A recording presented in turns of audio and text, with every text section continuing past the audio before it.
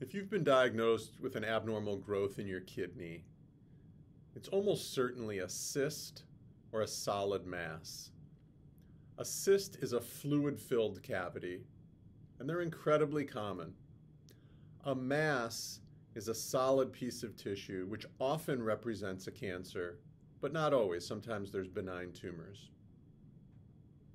If you've been diagnosed with either a cyst or a mass, there are many different nuances and details on how to evaluate them on the CAT scan or the MRI.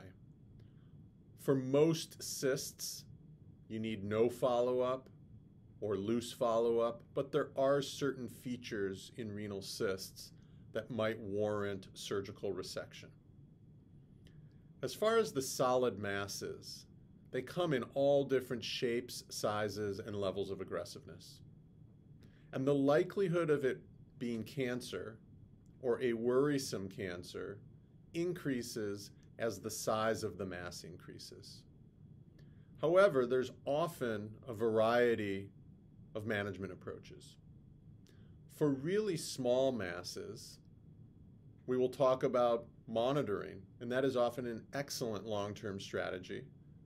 There are other times where a biopsy is warranted, which is very safe and provides additional information to guide decisions. There are times where freezing it or applying ultrasound waves to it can be effective therapy.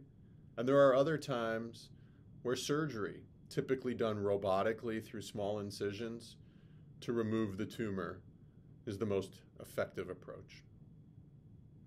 As the tumors get larger and the likelihood of cancer or worrisome cancer increases, the likelihood of doing surveillance, a biopsy, or ablation is less likely.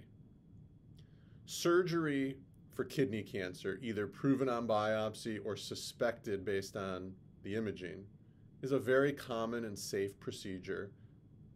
Sometimes it's removal of the entire kidney, sometimes it's removal of only the tumor and preserving the remaining normal portions of the kidney. Almost all of those surgeries can be done robotically through small incisions, but there are absolutely still times where we recommend an open surgery for unique situations such as very large tumors or other particular situations that benefit from open surgery. There are times where we recommend a combination of treatments or clinical trials.